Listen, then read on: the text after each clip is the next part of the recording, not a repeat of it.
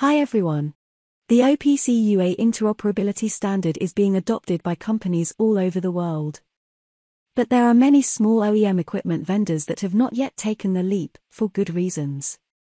Until recently, the only way to integrate an OPC UA server into your automation solutions was to buy an OPC UA SDK and develop a custom server.